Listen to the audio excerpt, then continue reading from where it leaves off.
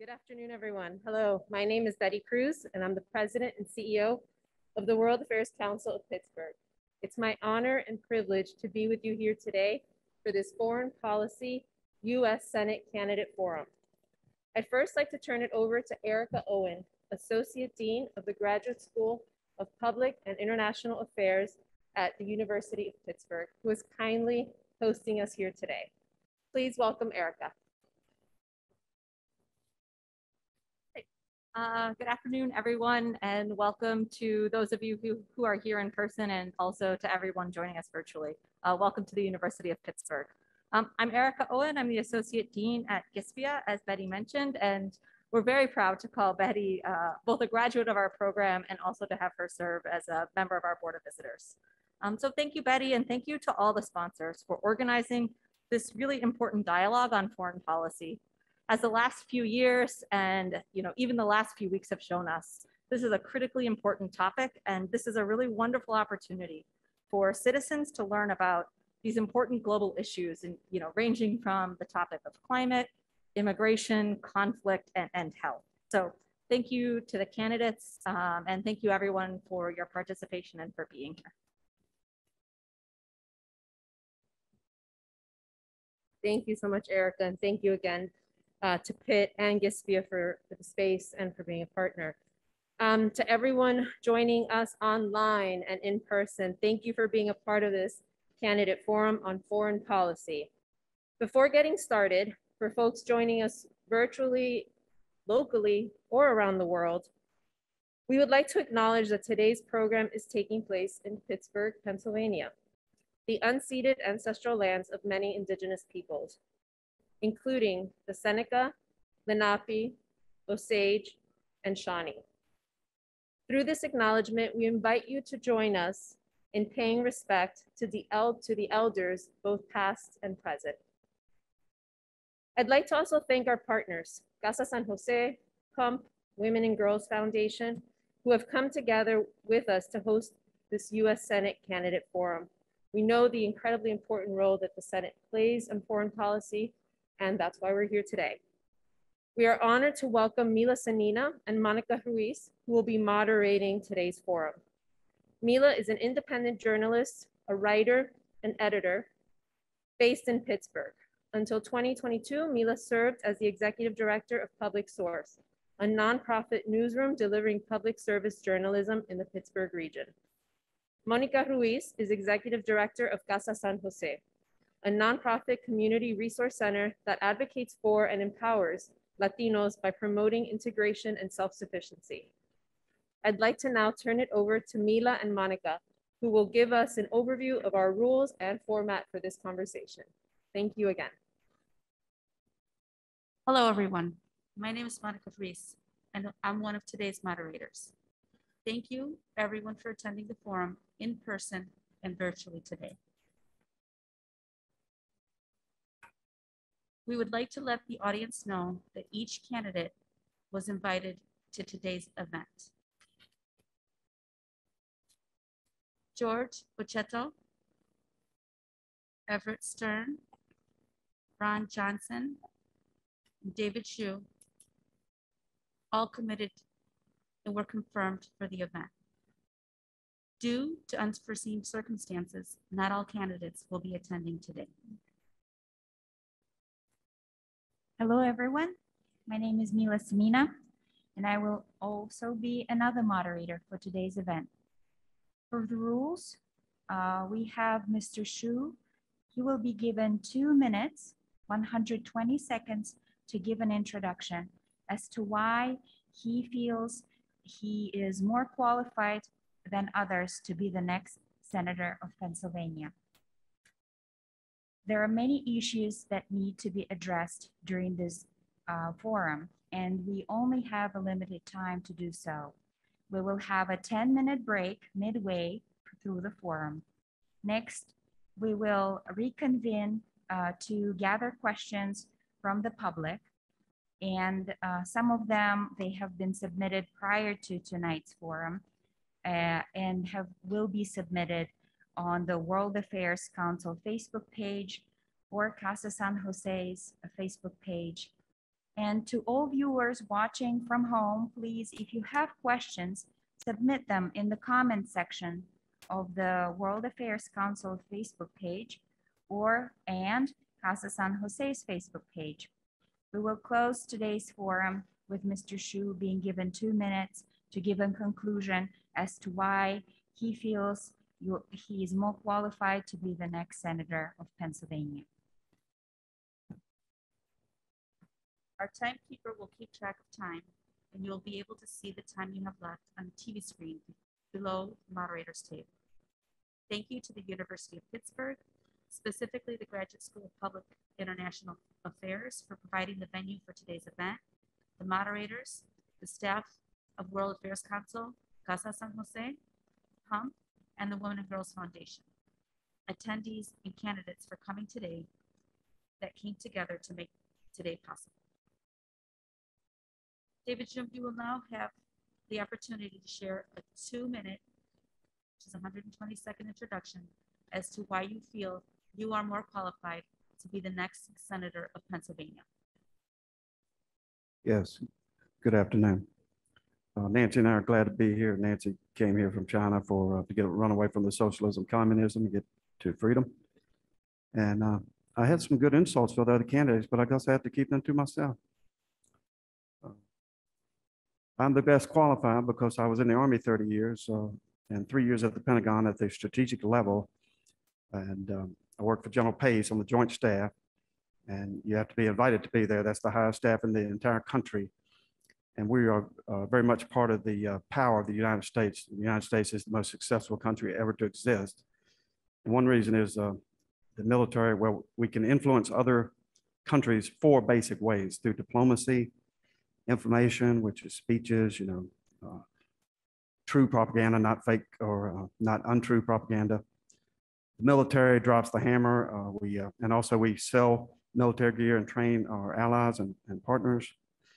And then we uh, are a strong show of force to prevent invasion. Or we go uh, give people the gift of democracy like Iraq or Afghanistan or, or try to do that, whatever. But uh, so that's military. And then um, economics through sanctions and uh, trading with countries, recognizing countries, trading, not trading sanctions. So we call it DIME at the uh, Pentagon. And the current administration is very weak on this. Uh, I don't know why uh, President Biden keeps saying he's taking the military off the table with uh, the Russians and Iranians. It's really uh, shows weakness. I don't like that. We need to get back to the Constitution and keep America strong. And uh, I'm the best qualified in this race because I was at the strategic level for the whole country for three years at the Pentagon. Thank you. Thank you. Today's first topic will be healthcare. The question is, how does our healthcare system compare to those globally? And should we be trying to model our systems after them? The second part of the question is, how do we address the racial disparities in the healthcare system? Well, our system has uh, some of the best technology uh, from around the world. And uh, so that's good. We need to get government out of health care. care. Obamacare was unconstitutional, in my opinion. And uh, we need competition. Obamacare has actually contributed to the consolidation of hospitals, which reduces competition, increases prices. So that's bad. Uh, We have some, some racists in America, but I think that's very much overstated. The systemic racism is uh, a- an exaggeration. There's some of that. I'm from the South. I spent 40 years in the South. And I can count on my hand the number of racists I heard about or knew. So uh, that's, uh, you know, we have some of those people, we need to punish them, but uh, that's not a big problem. Mr. Xu, often, our next question is about housing. Um, The global crisis in affordability for, of housing has gotten even worse uh, following the pandemic. The effects can be seen both abroad and sadly here at home. What moves can we make, both as a global community and nationally, to close the gap between empty, unaffordable housing and the homeless? Yes, we need to reduce regulation and taxes for the uh, middle income and upper income people because they uh, provide capital for businesses. And the younger people provide ideas and labor. And that's capitalism's been working very well for 300 years. But when the government gets away and perverts this like they're doing now, paying people not to work, that's a big problem. Uh, The CDC had no power. It was very illegal and unconstitutional to tell landlords who worked hard for their houses and apartments to live there free for the last two years. That's uh, very unconstitutional. So that would help out if the government would get out of this and start obeying these 30 pages of the US Constitution. That would help a lot with housing. Thank you. The U.S. continues to be one of the only countries not to ratify many environmental international treaties, such as the Convention on Biological Diversity, the Stockholm Convention on Persistent Organic Pollutants, and the UN Convention on the Law of the Seas. How does this affect our standing in the global community? And do you think we should take a more active role in the global community's effort to minimize the disastrous effects of climate, climate change. Uh, Yes, the, uh, a lot of climate change is uh, exaggerated. The uh, United States has done very good with our environment. Uh, The last 20 years or so, the emissions have gone down. That's amazing because population and uh, technology and the number of vehicles has gone up. So we're doing great on that, on the environment. We need to get the Chinese and the Indians to get in on it and stop burning so much coal. Uh, The US government should uh, give no tax money to people buying electric cars. Uh, They, you know, if you want one, buy one, but the people I represent didn't even go to college and they, they don't want to pay seventy thousand dollars for an electric car. I don't know why you- we're taking their tax money and giving it to upper and middle-class people to buy an electric car. It's too soon for that. Government needs to get out of the way on that. Plus, furthermore, to build a Honda getting forty miles per gallon takes less emissions than to build an electric car. And what are you going to do with the battery in ten or fifteen years? It's terrible for the environment, a lot of that stuff. Or exaggerated, the benefit. Ethanol just came out. You know, for twenty years, we've heard ethanol was great and it was a big scam. It didn't help the environment at all. Maybe not at all. But the politicians have been pushing that crap for, what, twenty-some years. So we need, again, to get government out of the way. Um, Today's fourth topic will be immigration. Out of the more than 26 million refugees in the world, less than 1% are considered for settlement worldwide. The Trump administration decreased the admitted number of refugees considerably over his term to 15,000, and President Biden has just raised it again with a goal of allowing in uh, 60, almost 63,000 refugees in the 2021 fiscal year. Both of these numbers are well below the previous years. And we're hearing about the crisis right now going on in Europe uh, with now more over uh, 2 million refugees out of Ukraine. Do we increase our cap to the IRC's suggested 2,000, uh, 200,000 in 2022? Or is the US stretching itself too far with that larger of a number? In Pennsylvania, there are over 180,000 undocumented residents that reside within the Commonwealth. In addition, nearly 11 million live in our communities across the country. Pathway to citizenship has been an issue in this country for decades. What is your stance on a path to citizenship? And please explain your position as to whether you support it or are against it. Yes, thank you. We, um, we support legal immigration. My wife came here legally. It took uh, several years. And uh, we need young, hardworking people. We do not need, um, you know, more people getting welfare. We need to cut that. Uh, But we do need legal immigration. Uh, But we have 10 million open jobs. We need to cut the welfare and get people, stop paying anybody not to work and uh, fill up these 10 million jobs we have now before we get into any of that. And, uh, and if we bring back manufacturing like it was really dumb in the 1990s, to ship a bunch of jobs to uh, the communists in Vietnam and China and Mexico and everywhere else. That devastated people in the South where I'm from. I'm from Florida and Southern Virginia. We need to bring those jobs back. It, it was really stupid. And some of the people, we need term limits. Some of the people who did that are still in Congress. They're sick people. They ruined millions of people I knew uh, or uh, in the South, you know, with shutting down the textile mills, clothing mills, furniture factories. That was really stupid to do that. We need to bring that back and that would help uh, for our legal immigrants to get more jobs and work hard here.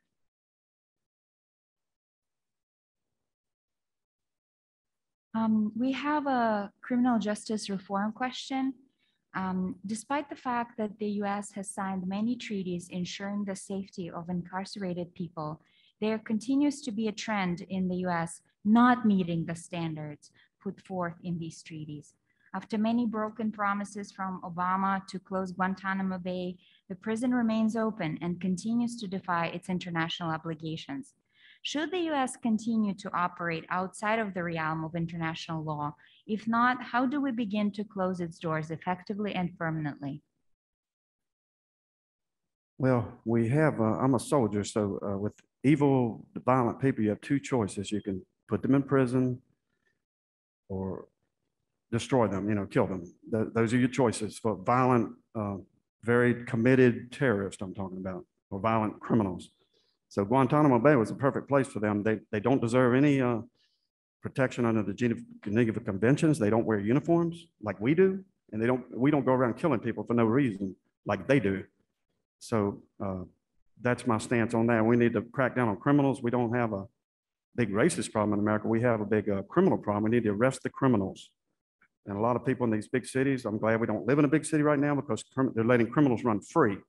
And people are sick of that out in, in middle America where we come from, coal country in Pennsylvania.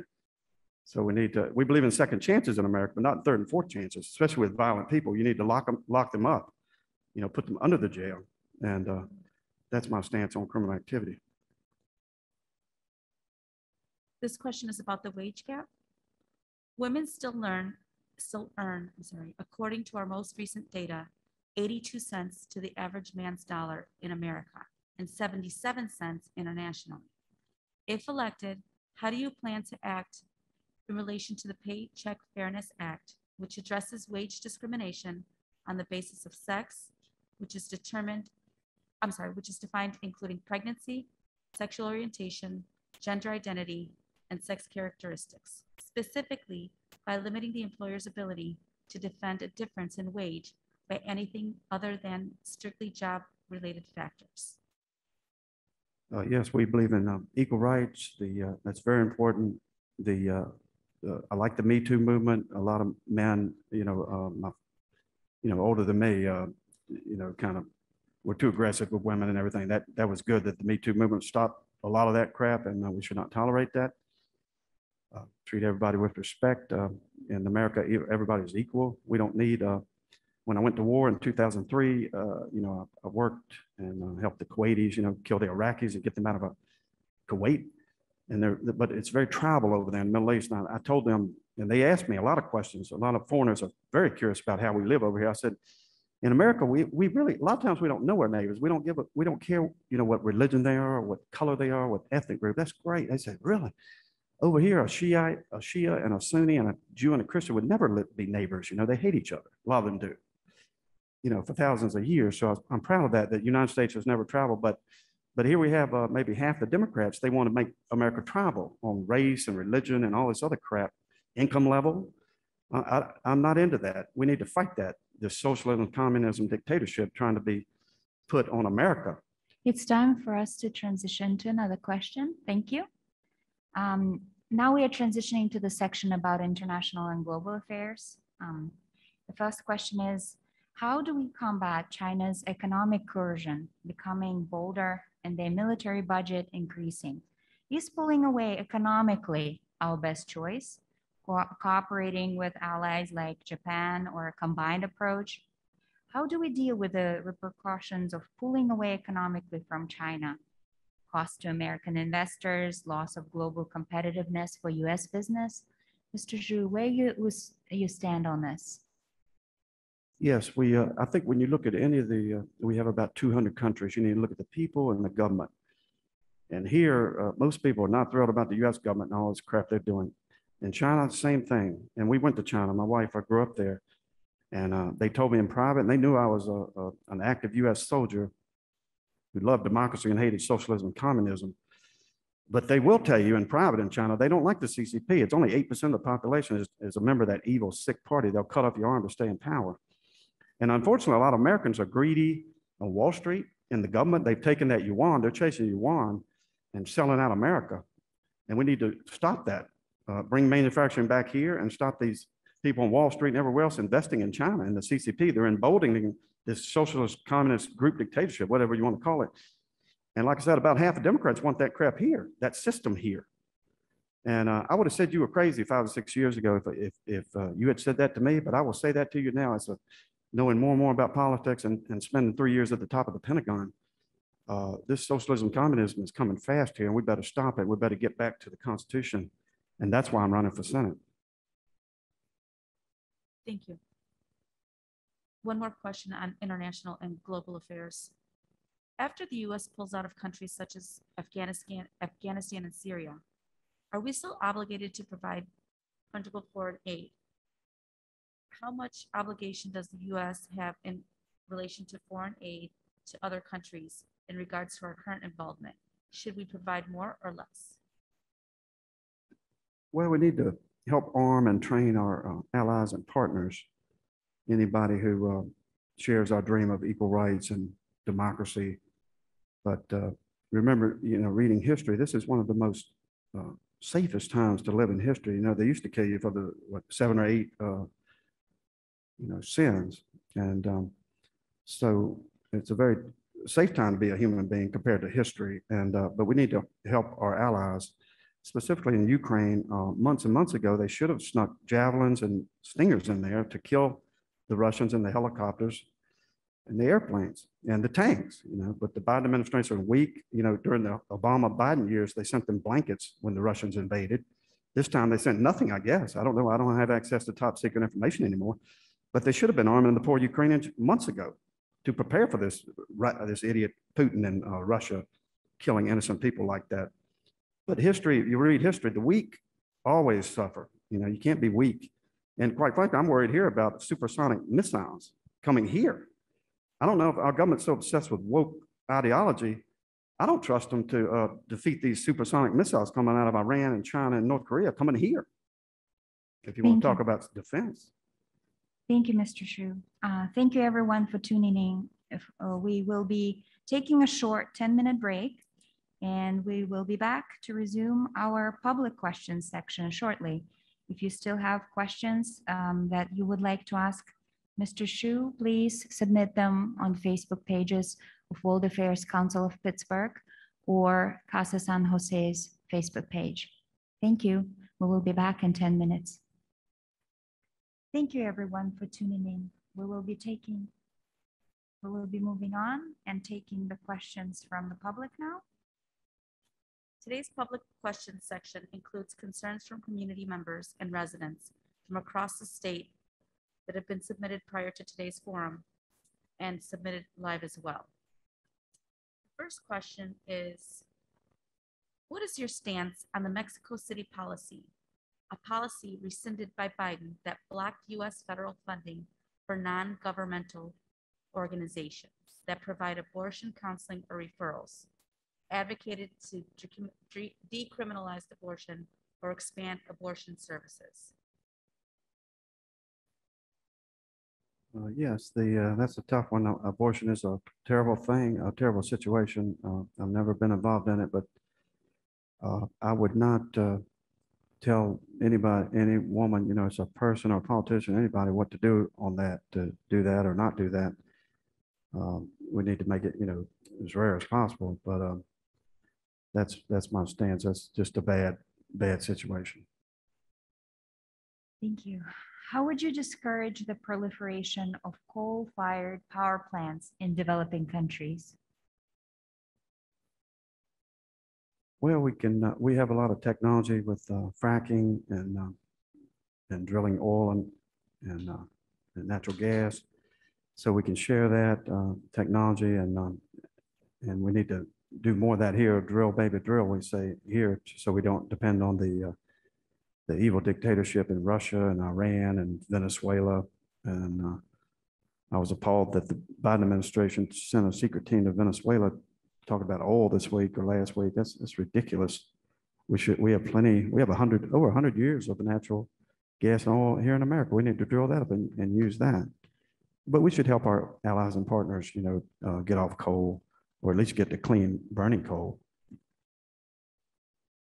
Please address the expansion of presidential power to begin and end wars. For example, why was the president able to withdraw from Afghanistan without congressional approval or oversight?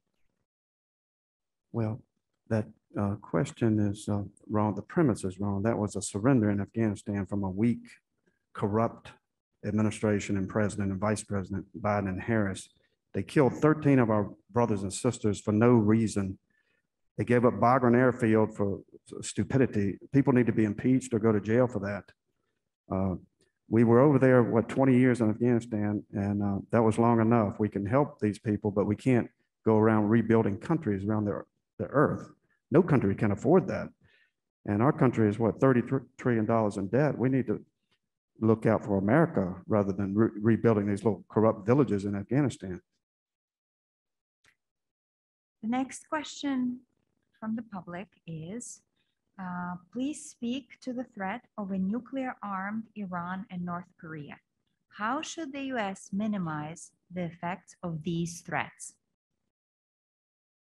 Uh, Yes, we should uh, use our military, the uh, special forces and uh, sanctions. um, Use our allies. Uh, Israel helps out a lot with that to make sure that the evil Iranian mullahs never get a nuclear weapon. uh, And uh, you know, contain these people like North Korea, who, uh, you know, they already have some kind of nuclear weapons. It's debatable on the quality of that, of those. But, uh, you know, we need to contain that and uh, just uh, keep a strong military in America to deter anybody, uh, any bad actors thinking about, you know, developing a nuclear weapon, like the Iranians. Do you see Brexit and changes to the Irish border changing the nature of our relationship with Ireland? And if so, how? Did you say Ireland? Yes. Uh, I'm not, uh, it's been a while. We went to, to Ireland one time a while back, Nancy and I, but I'm not, uh, too familiar with the, uh, specific issues of that country, you know, at this time. Next question is, what do you think about our relationships with the rest of the Americas? And what's your vision on how we can experience a new intercontinental reality between North, Central, and South America? Yes, we need to quit flying down to Cuba like uh, Obama did. That was ridiculous to support a socialist communist dictator killing people and impr- imprisoning families. Uh, we need to promote democracy and freedom and equal rights and uh, not the woke issues, but uh, just stick to freedom and equal rights and uh, strength. Uh, what America made America great, you know, promoting three equal branches, fighting corruption, helping them arrest these bad actors, dictators trying to stay in office forever, you know, getting elected like Chavez. And then uh, just lying to get elected and uh, then abusing their people. But uh, we can't, cannot be policemen of the world. But we have Southcom down there. That's, we have, uh, you know, several uh, combatant commanders in charge of U.S. military operations around the world. And one of them is Southcom. So we help uh, train and equip our allies down there to kill the terrorists and and promote democracy, you know, and equal rights. But it's uh, freedom. uh, Peace is uh, really, you know, we're spoiled here. Peace is normal in America, but it's abnormal in many, many, many countries. So it's Thank you. not. It's time for the next question. How do you plan to help alleviate the ongoing humanitarian crisis in Afghanistan while simultaneously ensuring that the lives of American troops are not necessarily put at risk? Well, we can try to help the, you know, one side or the other in Afghanistan, and not the Taliban. They, they are brutal, evil killers. So uh, we can help them, help man and train, you know, the, the better groups over there. But sometimes it's a question of the, uh, which bad actor is least bad, you know, in, in a lot of places. So, but we don't need to be, um, you know, trying to build nations anywhere. They're, they're very tribal over there. Like I was saying, people trying to make America tribal like this, this stuff going on in other countries, like in many African countries, but uh, in Afghanistan, same thing. It's very tribal. They have very little allegiance to any corrupt or any federal government in Afghanistan. DSA took a firm position on NATO this past weekend, urging the US to withdraw and end imperialistic expansionism. That's the quote. Do you agree with anti-NATO rhetoric? And do you disavow their statement? Well, we support uh, NATO, you know, 100%, but they need, uh, we've been telling, even when I was at the Pentagon in 2006 until 2009, we were just begging the Europeans, the weak socialist Europeans, to spend more than 2% of GDP on their military, you know, it's like we're, we're still protecting you. Why is that? You know, the Germans make a fortune around the world selling great cars and technology. Why, why are we defending them, you know? So Trump was right on that. He made them pay a little bit more or quite a bit more, so that was good. But uh, the, this notion of uh, bringing Ukraine into the NATO, uh, I don't support that right now. Uh, The Ukraine, Ukrainian people are hard workers and they're fighting for their freedom and God help them. But uh, the government is uh, very corrupt and uh, it's, a- it's a poor country. We had 500 Ukrainians in my unit when we gave democracy to Iraq. and We had them in Kuwait with us, 500 Ukrainians. And they were awesome. They were hard workers, but they were very, uh, it's a very poor country. They had really ratty equipment for World War II and we helped them, we helped uh, equip them and man them and train them for the war uh, in 2003 when I was over in the Thank you. combat It's zone. time for the next question. How much aid should the United States provide to Ukraine and still avoid a potential all-out war? Well, like I said, the Biden administration should have been arming and uh, training and equipping the Ukrainians for years ago, you know. Uh, So that was a failure on the Biden administration. And, uh, but we do need to keep doing that, you know, uh, clandestinely and, uh, you know, getting arms in there so they can defend themselves. Uh, You know, they deserve that. Uh, I don't support a no-fly zone, you know, over there that that they need to stand up. We, well, we should help the Ukrainians, you know, defend and kill these Russians invading for no good reason. Ukraine was not a threat to Russia. Ukraine was not a threat to anybody. It's a very poor, corrupt country. So uh, there was no excuse for Putin to go in there. He's just a sick, uh, demented dictator. Next question is, what is your platform on expanding TPS, temporary protected status, to people from the countries on the TPS list, such as Venezuela and Nicaragua? Well, we need to help uh, other, you know, uh, legal immigrants, not illegal immigrants. We need to stop that, finish the Trump border wall. But uh, we do need to help people around the world, the world, you know, with equal rights and freedom and support, you know, good people. And America has done, helped more people around the earth than any other country in the, since the beginning of time. So uh, we've done a lot of that. Americans, are most Americans are Christian and very charitable with their time and money and everything to foreigners and, uh, and Americans. So we need to continue that. But uh, but like I said, we need to cut the welfare and get the, fill up these 10 million American jobs open right now. Uh, There's been attack on the capitalistic system by uh, about half the Democrats now trying to get people to stay home and not work. That's sick. That's, that's part of capitalism. You know, we need cheap, you know, labor and, uh, and capital to, to have capitalism. That's, that's the whole reason we have a defense. You know, our whole national defense is based on our economy. These people in DC are attacking our economy when they attack labor and making people lazy and stay home and not work. Thank you. What type of politics are planned to be introduced supporting Latino immigrants that contribute with taxes, payments, and work in the United States? Can you say that again? I didn't Yes. understand.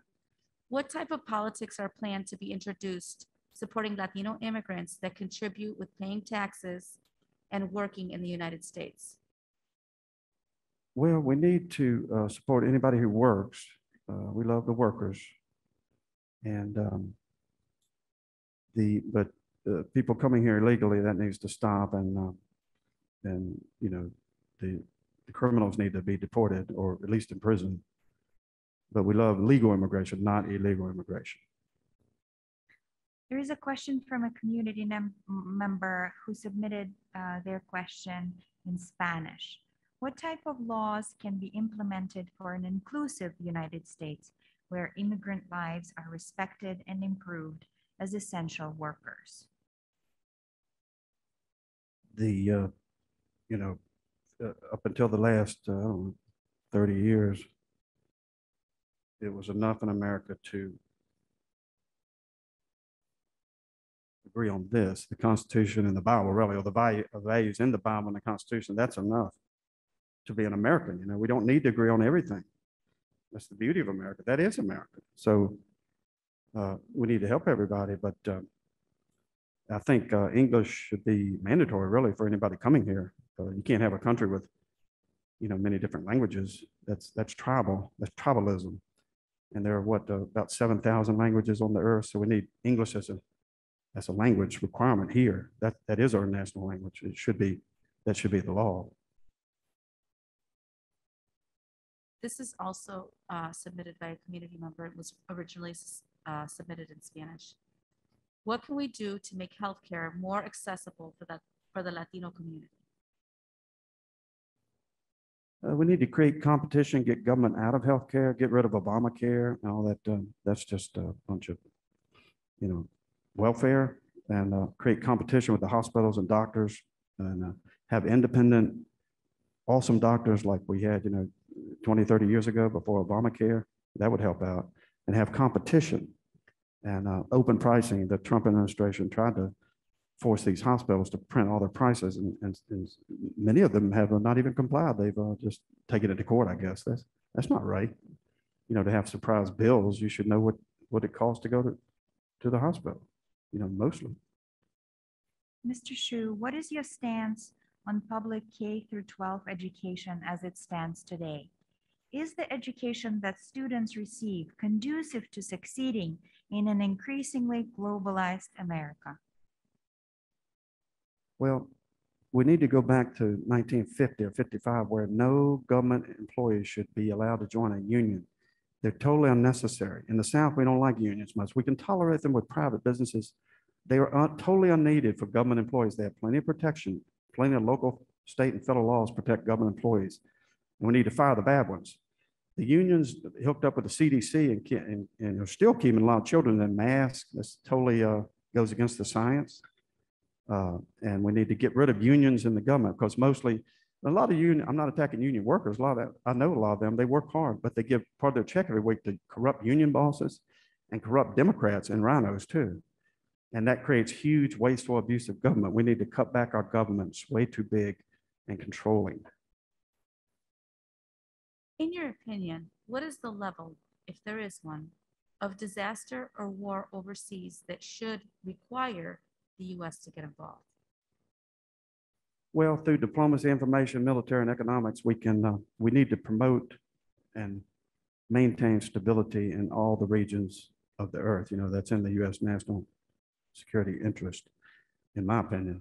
Uh, So we need to do that, and um, if, uh, you know, we have horrible dictators like in Cuba or uh, Venezuela or wherever, North Korea, we can try to, uh, you know, help those people. I think we owe it to to help, you know, let everybody, everybody wants to free, to be free, like uh, Ronnie Van Zant said when Lynyrd Skynyrd, but uh, so we should uh, help that. That's what America stands for, you know, uh, equal rights and freedom, democracy.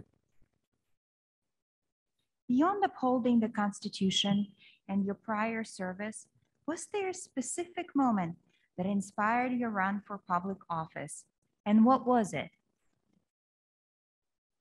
Yeah, that's a good one. Uh, You'd have to be crazy to talk to strangers about politics or religion, I'll tell you that. And uh, voters, I found out a couple things I've learned. uh, Voters are angry and they're brutal, you know, with their criticisms. Some guy told me I had a big head the other day. I said, wow, I didn't even notice that before. Thank you for that. Uh, But uh, so it goes back to we need to break up big media, big tech, and big companies, you know. And John Adams and George Washington warned about this. If politicians get in bed with big business, we're screwed. That will not be a democracy or republic. Or, you know, this is a republic. Uh, so the when I was wa- I was watching golf. I like golf. I was watching the Golf Channel, and they started criticizing uh, President Trump. I said, "What? What is going on? I just want to watch golf for goodness sakes. What, what is this?" And then I figured out Comcast, those horrible Democrats in, in Philadelphia own NBC Universal, own NBC, own the Golf Channel, and Sky News too. So they can feed this fake propaganda, lying about Trump that he's racist. I've never heard him say anything racist. Uh, and a lot of Hispanic love him. Thank you. It's time for the next question. Is there going to be any legislation that allows undocumented immigrants to obtain a form of ID, like a state ID or driver's license? Uh, Well, illegal immigrants need to, uh, you know, come forward and, and become legal. If, if, if that, that's my opinion, but we need to stop illegal immigration and go with legal immigration. That was the last question that we received from the public. Now, Mr. Xu, you have an opportunity to address the audience and have two minutes, uh, 120 seconds to conclude and tell us why you feel you are more qualified to be the next senator of Pennsylvania. Yes, thank you for having me, um, Betty and Olivia and everybody. And uh, thank you for having Nancy and I. If you can, I need signatures to get on the ballot. That's what I'm trying to do now. Go to davidxuforsenate.com. If you can sign my petition, I need them by uh, this weekend two thousand signatures, but we're just normal, common people. We're in the middle class. I, I never wanted to be rich or anything. I just wanted to be in the middle class. So uh, that's where we are and we're happy. So we need normal, common people in DC. These people in DC don't give a damn about small business people like Eric right here I just met. Uh, They're in bed with the big business people, the S and P 500 companies. A lot of them are woke, pushing, pushing this woke, woke nonsense. And it's not good for uh, most Americans. And that's why I'm in this race. I'm the best qualified. I was in the Army 30 years, airborne, combat duty, uh, on the Joint Staff, Army staff at the Pentagon, and um, I know how DC works and how disgusting the politics are there. And, um, you know, for instance, I worked on the budget one year at the Pentagon-. We asked for 30 airplanes. I think there were C-17s. The idiots in Congress gave us 50. And I said, hmm, why did they do that?